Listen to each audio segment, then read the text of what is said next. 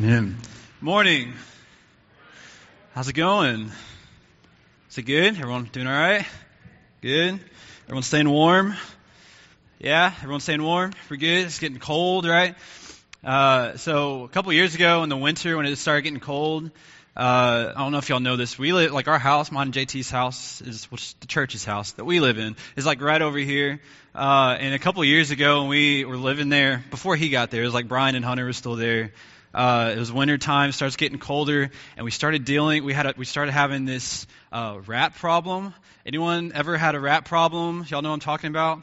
Okay, really? Yeah, there we go. I was about to say, am I the only one that has rat problem? Okay, so rat problem in the house, and so we're watching a movie one day, and we're just it was just normal. Everything was peaceful. It was great. All of a sudden, we hear some noise going on in the kitchen. So we go in there, and there's a there's we see the rat scurry across the floor. So we're like, uh-uh, that's not to happen. So we come over here, and we find upstairs one of the mini rooms. We just start searching through stuff, and we find this big box of mouse traps.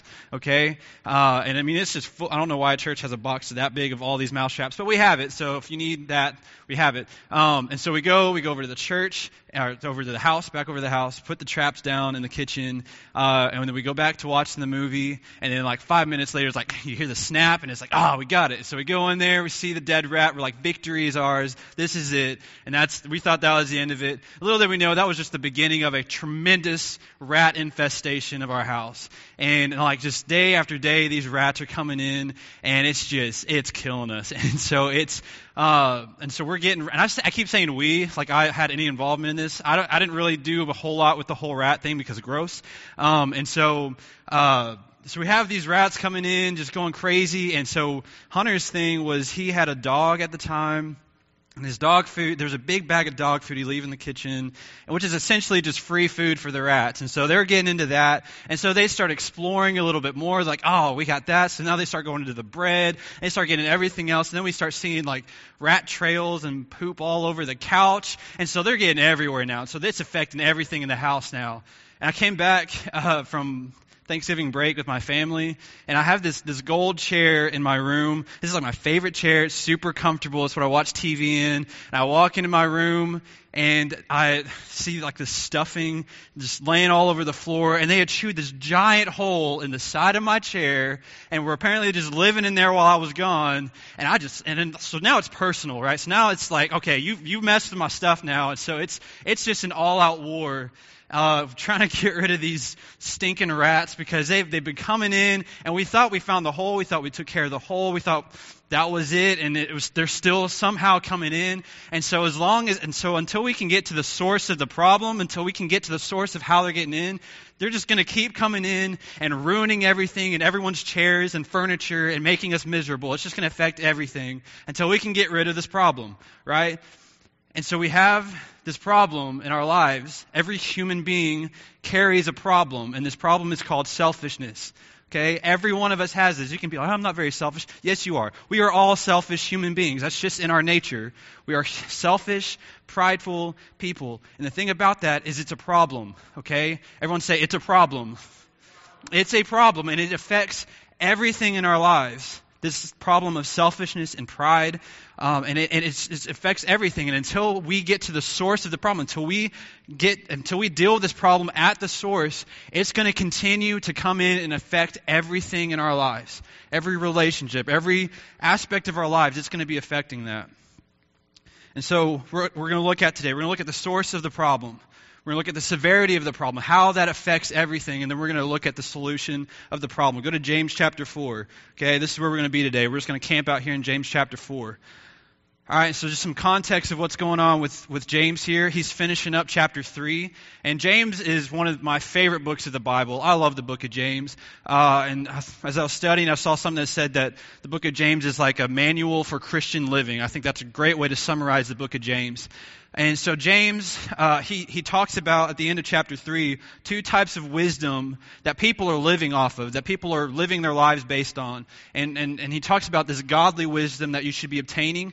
Uh, that's the first kind, is this godly wisdom. This is wisdom he characterizes by being pure and peace-loving, gentle, merciful, fruitful, uh, char- characterizing that kind of godly wisdom that we should all be striving for and, and, obtaining in life and allowing God to be the one guiding our lives and having that kind of wisdom. But he also brings up another kind of wisdom, and he calls it earthly wisdom and goes on to say demonic wisdom, okay? And this kind of wisdom is characterized by selfish ambition and envy, okay? And so that sets up where we're picking up here in chapter 4 of where we're at. And so if you're with me, James chapter 4, I'm reading out of the English Standard Version. And we're just going to start right off here looking at the source of the problem. Look at verse 1. He says, What causes quarrels and what causes fights among you? Is it not this, that your passions are at war within you? Okay? And so he addresses this at the, so he starts off, he says, so we have a problem here in verse 1. We have a problem. And he says there's, there's wars, there's fights, there's all this stuff going on. And he asks, what's the source of the problem? What is causing this problem? And he addresses it in the next part. He says, it's your passions. All right, y'all ready to learn some Greek today? Y'all ready? I'll, I'll try to, I'm not, I didn't take Greek, but I study for it. So, uh, the word that's used there for passion is hedone. Everyone say hedone. I think that's good enough. John can correct me later. But that's what the word is. It's, it's used hedone there, the, the, Greek word for passions. It's defined by pleasure and lust. It's defined by gratification of the desires of the, the, of the flesh. Essentially, your selfish desires. And he says, You want to know what the source of the problem is? What this problem that we're having, you want to know what the source is? It's your selfishness. It's your selfish desires that you have, these fleshly desires. If you want to turn to 1 John 2 real quick, uh, First John talks about in chapter two, verse sixteen. He talks about that the things of the world, or the, the things that the world is feeding us, is is a reflection of these desires, these sinful desires. And he puts these sinful desires in like three categories. He says it's the lust of the flesh, the lust of the eyes, and the pride in one's lifestyle. Those are the three characteristics of of these sinful desires. How these things can be summed up. And if you want to also look back into Genesis chapter 3, verse 6, the very first original sin that took place, uh, you see those characteristics, these sinful desires that are what leads Eve to, to take the fruit. So she looks at this is Genesis 3 6. Uh, it talks about that she saw that the fruit was was good to look at. She saw it was so she saw this with her eyes. It's it's pleased her eyes. This is something that she saw that looked good. Okay, and this is something that I want because it looks really good. She said it, she saw that it looked good for food. It looked like it was, would nourish her, that it would be satisfying, satisfying for her. So that's dealing with, that would satisfy this hunger that she has. And so that looks good. That's a desire of the flesh. And then it says that she saw that it was um, obtain, uh, desirable for obtaining wisdom. So there's your pride right there. Is this going to make me awesome? It's going to make me super wise and the wisest person ever. And it's those sinful desires that she had that led her astray to pursue this sin right? And so this is the source of the problem. It's all, and all those things are just feeding this desire of our selfishness. It's what I want. I want what I want. And if I don't get what I want, I'm not going to be happy about it. It's all about me. It's what's going to make me look better as a person. It's going to, what's going to benefit me the most. It's all about me. And he talks about, going back to, to James 4, the last part of verse 1, it says that these desires that are present, these your passions, you also can define it as cravings, these things that these this selfishness within you, it says these desires are at war within you. And and the way that that's written is is the, at war is that it's used in the present tense, and so that means this is a continuous action that's happening. That it's this this war that's going on. Turn to Galatians five real quick. Galatians five verse seventeen. Look at this. And so this is talking about the kind of war that's going on inside of us. Because as a believer, when we, when we give our lives to Christ, when we make Jesus Lord of our lives, we receive the Holy Spirit. And then the Holy Spirit is then, His job is to clean out the junk and the mess that doesn't need to be in our lives and to, to provide us with the things and lead us in the way of how we can honor Christ and how we can worship Him and serve Him faithfully. And so that's what's happening, but we still are human and we still have these selfish, this selfish nature within us. And so Galatians 5, Paul says this in verse 17. He says, For the desires of the flesh are against the spirit, and the desires of the spirit are against the flesh for those are opposed to each other to keep you from doing the things you want to do. So there is that war that's happening. And this is why that war is there, is because the desires of the flesh and the desires of the spirit are in complete opposition with each other. Y'all with me? Okay, and so this is the war that's happening. This is what's causing the problem. Is this this selfishness that's that's in just in the depths of our lives that's at war with the spirit. And so if we keep going in, in, James 4, looking back in James 4, look at verse 2, and this, now we're going to understand how this, how this problem affects everything. So we're looking at the severity of the problem, how this affects everything. He's, he's, and it starts off the way that this selfishness starts affecting things at first is it affects us. So let's look at uh, verse 2, looking through verses 2 through 5 real quick. So James says, You desire and do not have, so you murder. You covet and cannot obtain, so you fight and quarrel. You do not have because you do not ask. You ask and do not receive because you ask wrongly to spend it on your passions. You adulterous people, do you not know that friendship with the world is enmity with God? Therefore, whoever wishes to be a friend of the world makes himself an enemy of God. And so we're going to stop there. We're going to come back to this. So, first, looking at the, this, how, this, how this problem affects us personally, is this selfishness produces discontentment. Y'all know discontentment, right? So this selfishness produces discontentment. And you see that through the, through verse 2. It says, you desire and do not have. You covet and cannot obtain. And so this is, you're being left with this, uh, this feeling of discontentment. And discontentment essentially is the result of you not getting what you want. I don't have what I want and I'm not happy about it. That's where discontentment shows up. And discontentment produces things like a lack of peace. You're just constantly on edge because you don't have what you think you want or what you think you need. Discontentment leads to anger and frustration. Again, you are angry and frustrated because you don't have what you want. And then you also, out of that, have this, this discontentment brings emptiness, this feeling of I'm missing out on something, I'm lacking something.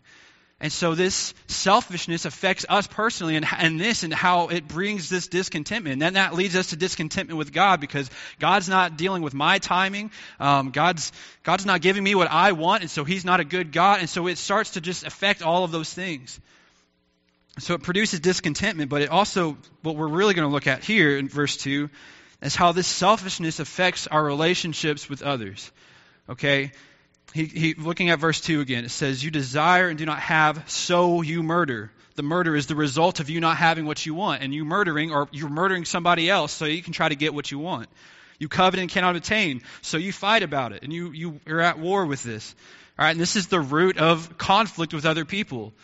Uh, when I was a kid, I, I grew up with my older sister. She's two years older than me. All right. Anyone has an older older sister, older sibling? Anyone? Y'all with me? Okay. So I had an older. I, I still have an older sister, and when we were kids, she always wanted to play with me. I didn't really want to play with her because I'm an introvert. I like kind of just keeping to myself and playing in my room with my own toys. Um, and but she always wanted to play with me. So being a nice, kind brother that I am, I'm like, absolutely, sure, we can play, whatever. And so she wants to play school. But the thing about playing school is we had two completely different ideas of how we wanted to play school. Okay, when she asked me to play school, what she wanted, what her desire was, is she wanted to be the teacher and I would be the student with all the other stuffed animals. And so she can assign me homework and I have to do it and she can grade it and, and send me out in the hallway because I'm being bad or whatever. Okay, and so that's her desire. That's how she wants to play school is she's the teacher, I'm the student. But how I wanted to play was okay, we can be like co-teachers, we can be like partners in this, and we could just just tell the stuffed animals what they're supposed to do and be the teacher there, uh, and be like a vice principal, principal kind of thing. I think that's pretty cool. So that's the way I wanted to play school. And so, what do you think happens when we join together to play school? It just brings chaos. It's just I'm trying to do this one thing and she's still trying to give me assignments. I'm like, I'm not going to do this because I'm a principal. What are you doing? And so there's just going back and forth and then we start arguing because we have two completely different ideas of what we want to do here. And then of course we start arguing and fighting and mom comes in, breaks it up. We're grounded for the rest of our lives. And so that's the result of what happens because we both have two completely different desires for how to play school. And that's a goofy illustration, but if, if you really think about it, most of the conflict in our world all around us can be pinpoint, can point all the way back to this selfishness. Are y'all with me? This is where conflict comes from, is because two people have two completely different ideas of what they want.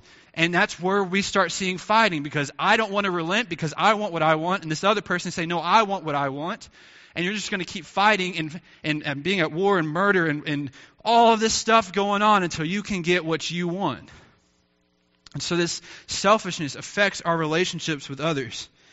And let's just talk about the application of this as a church. Because this is something that is a problem in churches all over the place. Is this issue of selfishness. What divides churches? If you think about the history of, of how churches divide and split up, it's over selfishness. If you really think about it, a lot of the times it's because I have my own way of wanting to do things. We're not singing the songs I want to sing. I'm not hearing the messages I want to hear. There's not enough coffee there to, to feed me and, and, and donuts and all that stuff in Bible study. There's not this, there's not that. And things aren't the way that you want it to be. And when that happens, you, you, you're holding on to your pride because you don't get what you want, that's where we start to see this conflict arise. And, and that's where we have division and disunity.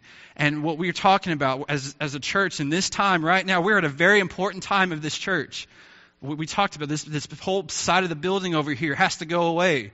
And we, we know that God has led us in this direction. We know He, is, he has given us this task, this is something that we need to do in obedience. But there, if we're going to hold on to our pride and say, you know what, I don't want to move that building, I think it's totally fine. That's too much work.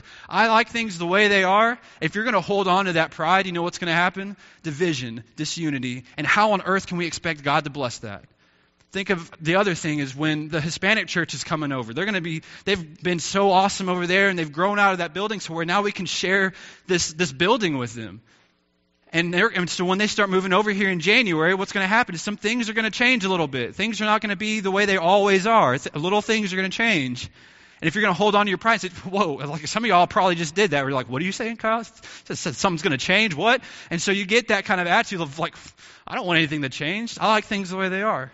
And as long as you hold on to that pride and that selfishness of this is what I want, this is what Robinwood is all about me. It's my church this is just going to cause conflict and division. And again, how can we expect God to bless this church if we're living in division and disunity and conflict with one another? So, selfishness affects us personally. It also affects our relationships with others, but most importantly, it affects our relationship with God. Look at the last part of verse 2. And so he addresses how this selfishness is affecting the relationship with God here. He starts off in verse 2 saying, or at the last part of verse 2, he says, You do not have because you do not ask. And so he addresses, James addresses a problem here. He says, You don't have because you don't ask. And if you're not asking, that's, rep, that's showing, it's revealing that there is a lack of seeking God. So you don't have because you're not seeking God. You're not spending the time to seek after God.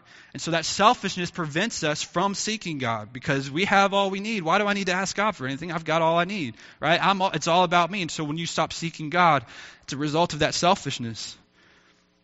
But he goes on to say in verse 3 You ask and do not receive because you ask wrongly. And so now we're dealing with so maybe you are coming to God, maybe you are seeking God, but you're seeking with the wrong motives. You're asking, and he goes on to say at the last part of verse 3 this is what you're asking for. You're asking God for things so that you can spend it on your passions, which is the problem, right?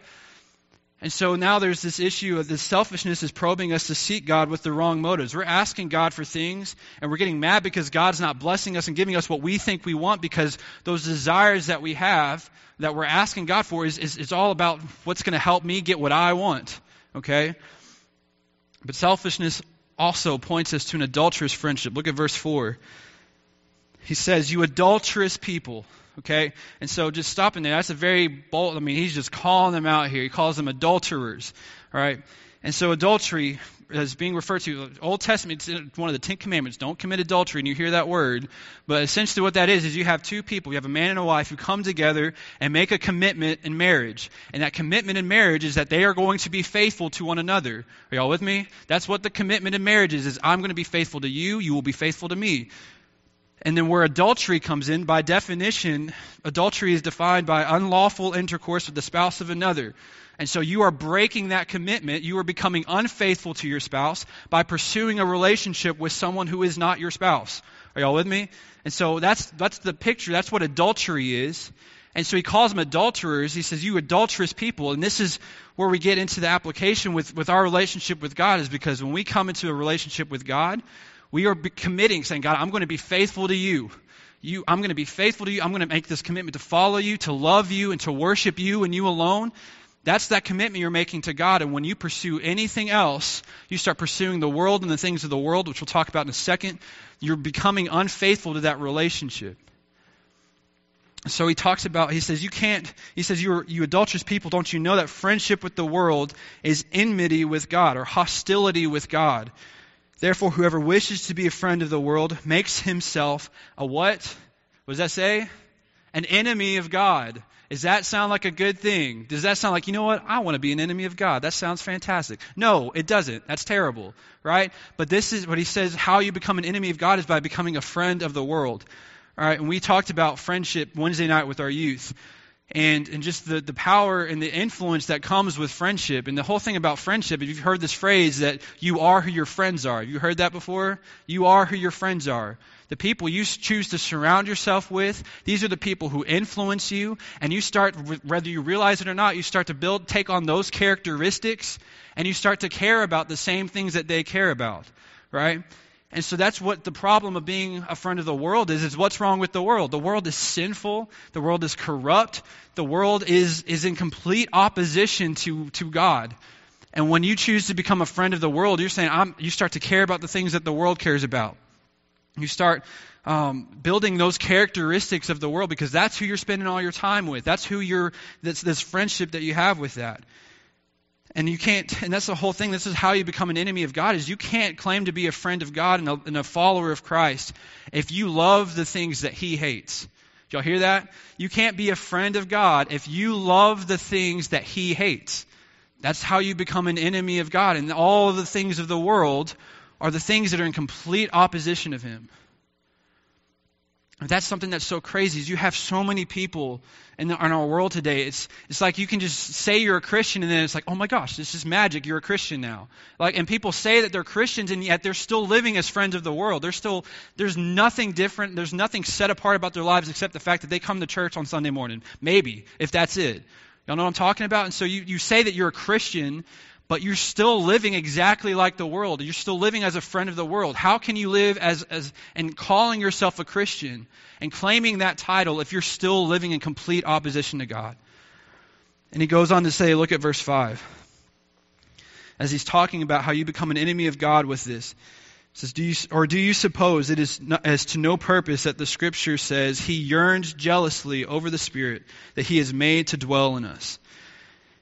And so this is where you see this, this adultery coming in. And this is where you see the word jealous. You can define jealous in a couple of different ways. One is you're jealous of what someone else has and you're angry about it. You're angry that they have something that you don't have and you want to take that from them. That's kind of defined in envy. But the kind of jealousy that can also, the way you also can define that is how it applies to relationships, right? So if you have a relationship with somebody and the jealousy comes in when that person finds love and affection and attention from somebody who is not you. Does that make sense? And this is when we talk about God being a jealous God, is because God does not want us finding love and affection and attention from anyone else except for Him. Y'all agree with that? God does not want us finding love and affection and attention from anyone or anything else except for Him. And so when we start pursuing the things of the world, that's why we start pursuing the things of the world, is we're trying to fill up this emptiness that, we that we have. We think that the world can satisfy these desires that we have. And, and, we're, and we're going to the world to tell us how we need to live, how to make us feel better, how to make us happy, or whatever. And we are leaving that relationship with God, becoming unfaithful in our relationship with Him. And that's a problem.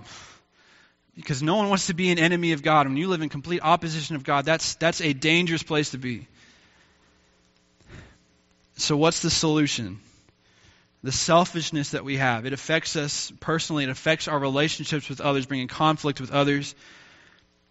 And the selfishness ultimately puts us in a, in a, in as enemies of God.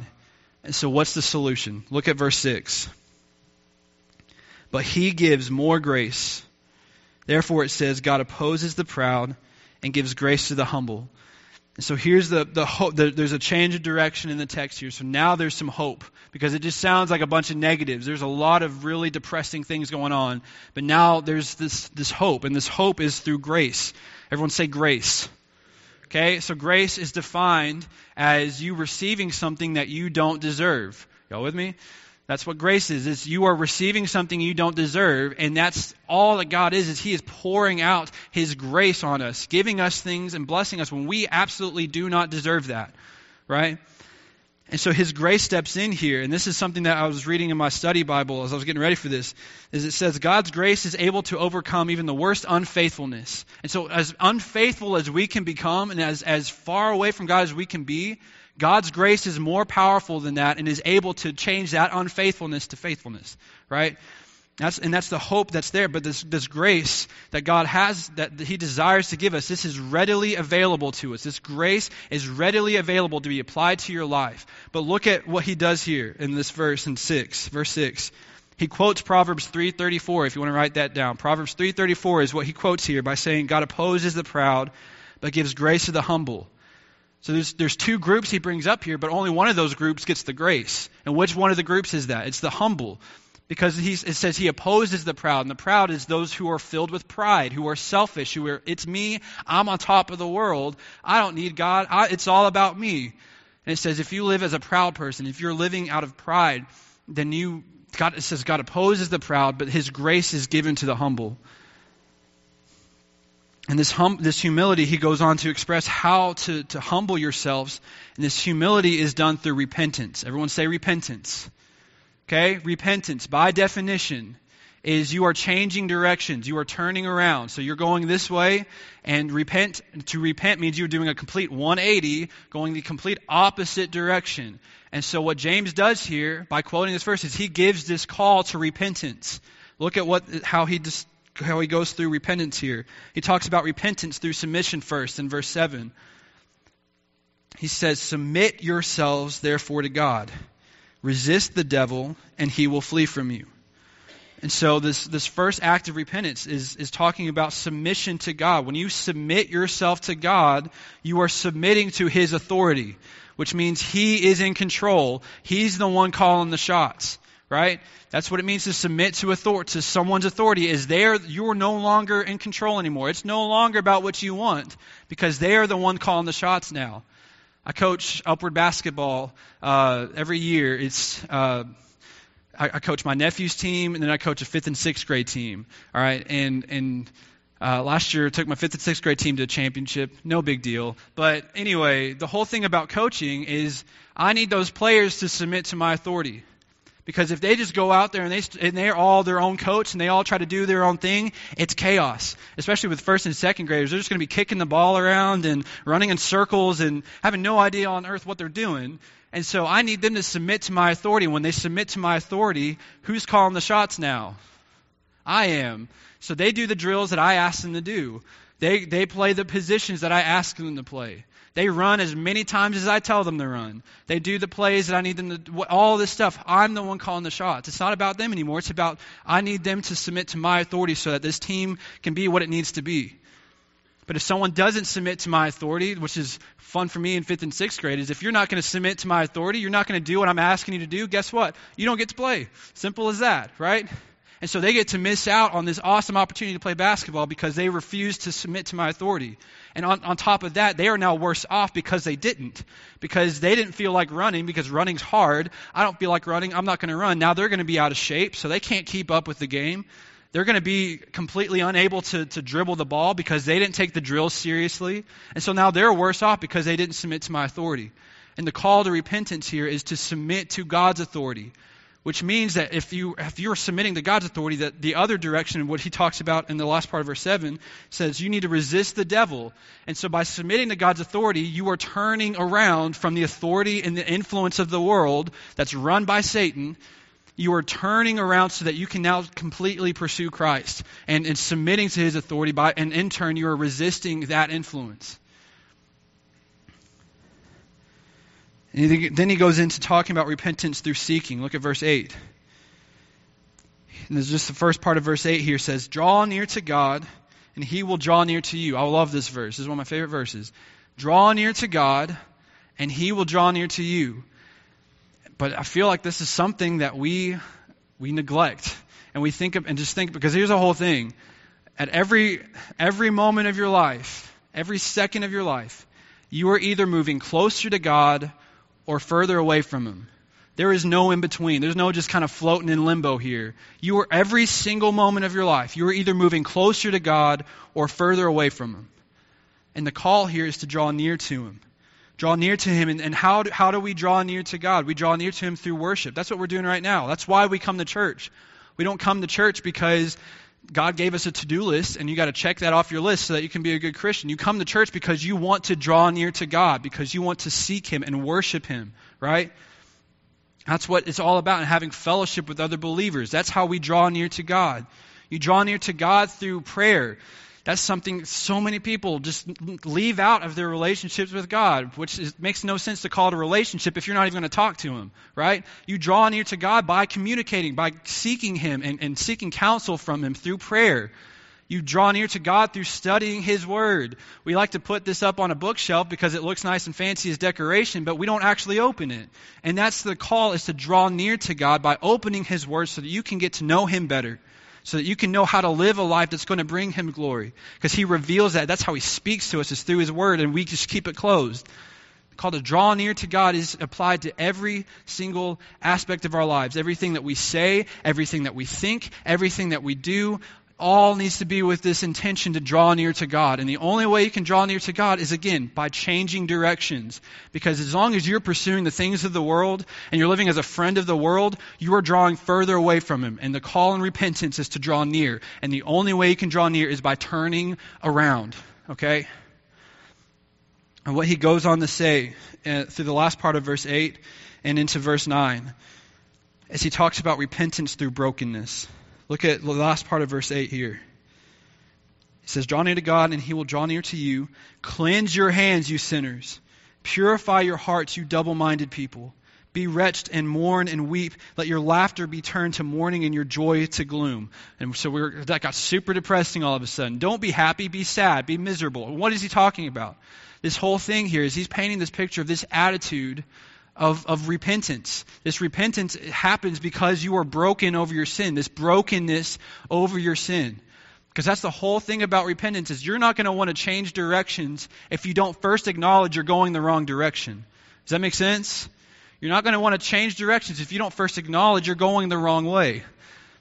I took a group of friends to see a movie probably a year ago. My favorite theater is the Galaxy Theater. I think Garland, maybe. Y'all know what I'm talking about? Okay, off of 635 around Jupiter, that area. Okay, so it's right off the highway, and that's like my favorite theater. And so I took my friends there, and because it's right off the highway, as we are leaving the theater, um, we're talking about the movie because we're all very movie critic people, okay? We think we are at least. And so we're talking about, we're picking apart this movie, like, oh, I didn't like that, I didn't like this. And so we're talking about that, and, as, and I'm the one driving. And so the, the thing about leaving galaxies, you have to leave a certain way because, I'm, and I left, this is right when I first started going there, is I'm thinking the highway is there, and the theater, so all I have to do is just turn, get out and turn right, and then boom, I'm on the highway. I'm where I need to be. So I see a sign for 635. I know that's where I'm supposed to be. There's an arrow, so I follow it. And I'm thinking, like, yeah. And I'm convinced I'm going the right way. Like I'm told, there's not a single, there's not a second thought in my mind. I'm I'm driving us home.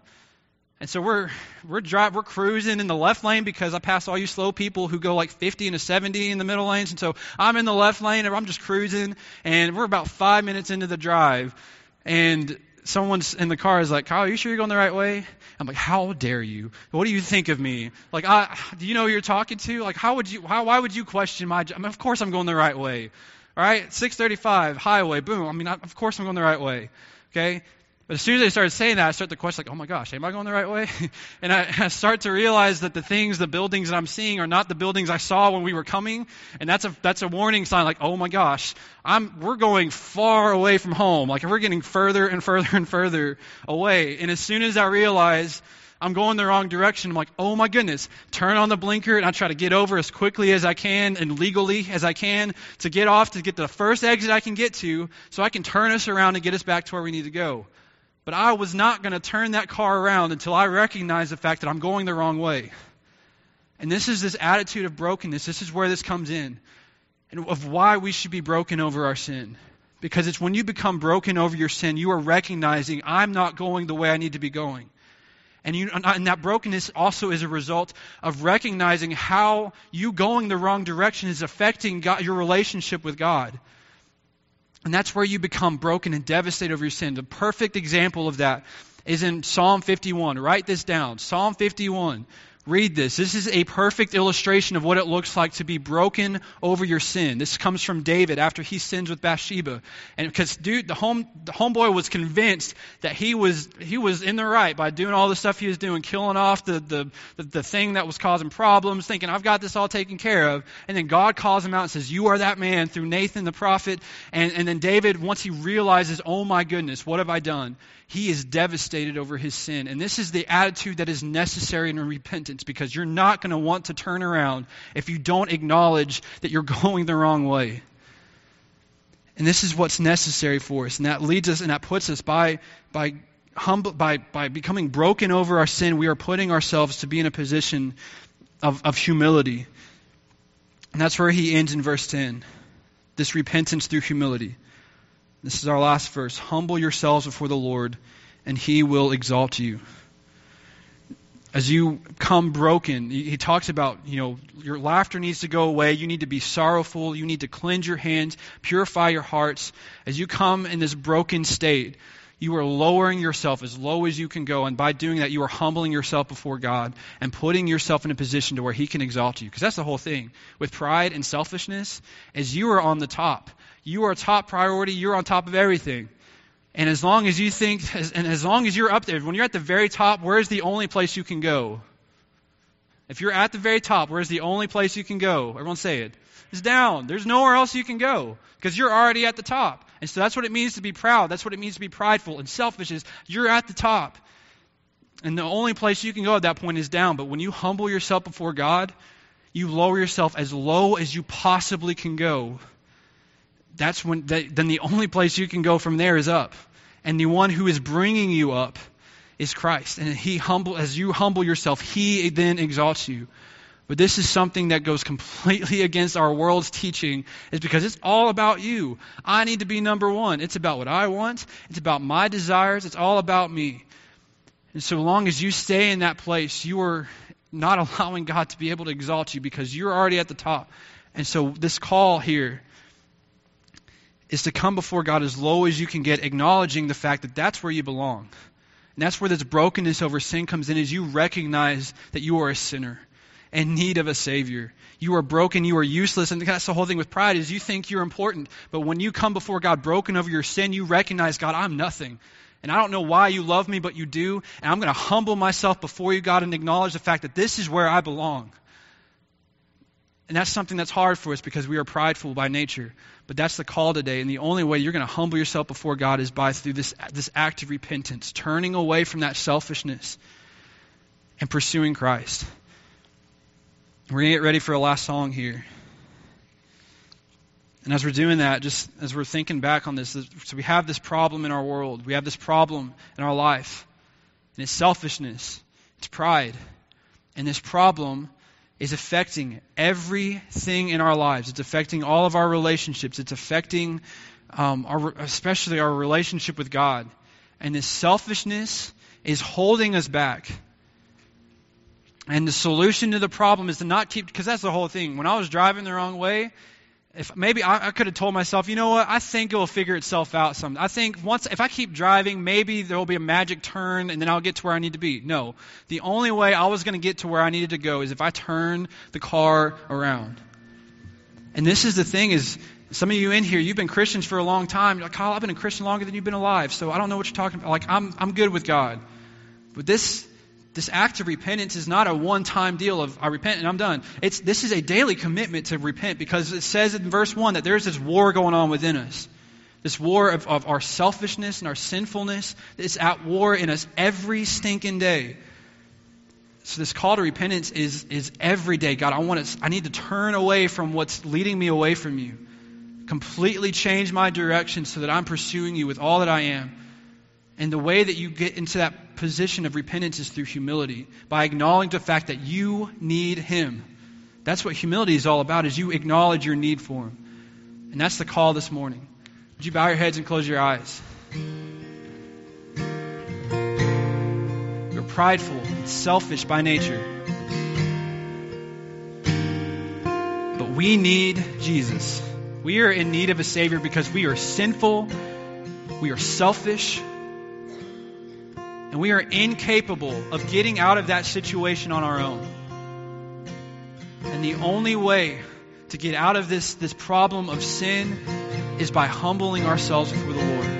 And that's what I'm going to ask you to do today because this is something that really hit me hard this week preparing for this. Because I'm, I'm telling you, man, I'm, I'm a very prideful person. I like to be in control. I like things being done my way. And if it's not done my way, I'm not very happy about it. And so this hit me hard because I just recognize how proud I am, how prideful I am, and how selfish I am in that. And my, my, what I encourage you to do, my encouragement to you this morning, is that you would come before the altar today and you would humble yourself. That you would get on your hands, and that's what the whole act of coming before the altar is, is an act of humility. Getting on your hands and knees and telling God, God, this is where I belong. I've been walking around with my chest up, my head up high, thinking that I'm on top of everything, but God, I belong right at your feet, on my knees and on my hands and knees before you. And I would ask that you would do that this morning. Maybe you've been living every, all your decisions in life are based on what you want to do. It's all about you. When you wake up, what do I want to do? What do I want to eat? What do I want to do? When it's all about you, and, and the call today is would you humble yourself and would you repent? You turn away from this selfish way of thinking and draw near to God by submitting to His authority? You're not in control anymore. And maybe you made that decision before, but you have been, for the long time, you've been the, the person on the throne of your heart is the person on the throne of your heart has been you. And the call today, and I'm asking you to be bold and to come forward this morning and on your hands and knees and submit to God's authority and say, God, you are in control. And I just want to remind you of that by coming before you on my hands and knees right now. I'm submitting my life and submitting to your authority. Maybe you have, have been neglecting to draw near to Him. You've been distracted by other things, and honestly, this is probably the most you'll draw near to God this week, is by coming into church, and you think that that's enough. I'm telling you, if this is the only time, if this is the only amount of Jesus you're going to get, man, you are missing out on so much, and you are lacking because you are and you're trying to find satisfaction and fulfillment and everything under the sun except for Him. And the call today is: Would you draw near to Him? Would you make that commitment to draw near to Him? God, I'm tired of being left empty and broken over these things that I'm pursuing because they can't satisfy me, but you can. Would you draw near to Him and make that commitment, not to just draw near to Him on a Sunday, on a Wednesday, but every moment of your life? Come before Him and do that today. Maybe your pride has been causing division in the church. Maybe not, it's maybe not be as obvious as you may think. But maybe you've been in opposition with, with what God's doing here because of your pride. The call today is to humble yourself and say, God, it's not about what I want. This church is not about what I want. This is about what you want for this church, what you want to do in my life. And God, I want to submit to that. I want to surrender to that. And get right with God this morning by coming forward and asking God to give you the right heart and, and mindset. And, and, and the way you do that is by drawing near to Him. Or maybe you're in opposite, maybe there's someone in this room that you know you have a conflict with. Now we're getting really uncomfortable, right? Maybe you have a conflict with somebody in this room, someone sitting next to you. And as long as you're in conflict with them, that's affecting your worship. The call today is would you let go of your pride, grab that person, ask for forgiveness, and say, Man, I want to get right with you. I want to rebuild this relationship. I want, I'm, I'm sorry that I've been so selfish. Whatever it is, grab that person today and I'm telling you, man, it is awkward, it is uncomfortable, but it is necessary. If you're real about following Christ and you want to be real and you want to humble yourself, that's how you do it. So I encourage you, as we sing this last song, grab that person, come up here, and pray with them. So we're going to get, as you stand to your feet, your heads bowed and your eyes closed still, as we get ready for this last song. Maybe you're in here and you've you, you've never submitted to God's authority before. You don't know what that means. You're, you're living as an enemy of God. And you've been trying to find satisfaction and fulfillment in everything in the world, and you're tired of being left empty. The call today is would you give your life to Christ? All you got to do is call out to Him and submit to His authority. God, you're in control. It's not about me anymore because all I'm good for is causing a mess. I want to give you all that I am. God, consume every aspect of my life so that everything that comes out of me is worship and praise. Would you come forward this morning? So, again, I challenge you. I'm asking you. I know it's weird to come forward in front of all these people and to, to, to get on your hands and knees at, at some steps, but I'm asking you to do it. To show God that, and, and physically showing God that you are humbling yourself before Him. Would you do that this morning? Heavenly Father, God, we are absolutely undeserving of your love. And God, we all we're good for is, is selfishness, sinfulness, is making a mess. And God, that's a problem and it's affecting everything in our lives. But Lord, I pray that you would give us boldness today to come forward and humble ourselves before you, God. I pray that you would show us God, may, may you give us a brokenness over our sin this morning. God, lead us forward right now to come on our hands and knees before you, God, surrendering this sin that has been separating us from you. God, may we submit to you. God, may we commit to draw near to you. And as we draw near to you, God, laying aside our selfish desires, because I know that we, especially me, God, I think that I know what's best for me a lot of the times. I think I know what I want. I'm pretty convinced of it. But God, it's nothing, nothing compared to what you have in store for me, what you desire to do in my life. It doesn't even compare. And I pray, God, that you would, as Lord, that I would continue to draw near to you, God, that I wouldn't ever give up of that. Lord, but that I would constantly humble myself before you, God. May you encourage each of us to do that this morning. Surrendering all that we are to you. Because you are worth it. Because we we are undeserving, but you are more. God, have your way in us this morning. It's in Jesus' name we pray.